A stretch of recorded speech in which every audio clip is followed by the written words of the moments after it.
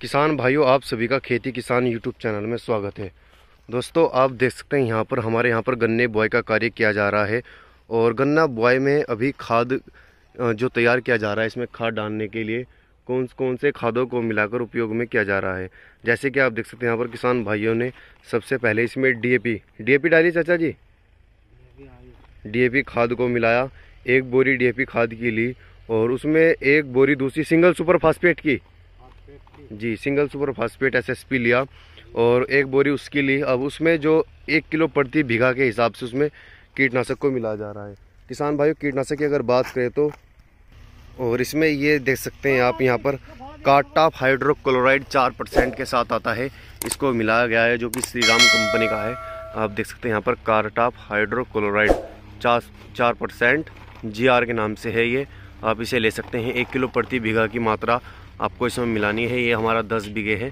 इसमें हमने दो पैकेट डाल दिए हैं यानी कि दस किलो डाल दिया है।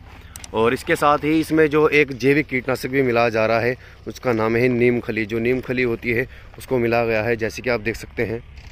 चाचा जी क्या है ये? ये नीम खली नीम खली तो दोस्तों ये देख सकते हैं जो नीम का बुरादा होता है नीम की छाल का पुराना और नीमोली होती है उसकी नीम खली होती है यहाँ पर ये।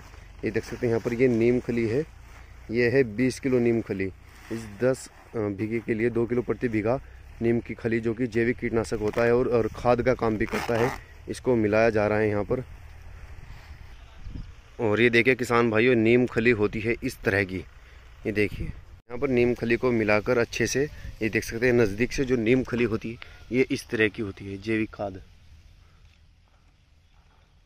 और इन तीनों चारों खादों को मिलाकर अच्छे से मिक्स करने के बाद और ये हमारे खूडे जिसमें गन्ने की बुआई की गई है, इसमें इस लाइन से इस खाद को डाल दिया जाएगा। इससे बाद इसमें मिट्टी डालने के बाद इसमें आधा आधा इंची पूरे खेत में मिट्टी आ जाएगी।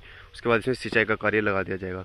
दोस्तों, जो ये खादें होती हैं, इनका सबसे ज़्यादा फ़ायदा ये हो सकता है। इससे अलग आप अन्य खाद अगर मिलाना चाहे जैसे कि माइक्रो न्यूट्रेंस होता है उसे भी आप मिला सकते हैं। और अगर आप साइड में सल्फ़र ले सकते हैं तो जो भी आपको आ, मिल जाए मार्केट से अच्छे तरीके से उन सभी को मिलाकर आप गन्ने में ज़रूर डालें ताकि आपकी ज़मीन से कोई भी कीट व रोग ना लगे बुआई के समय।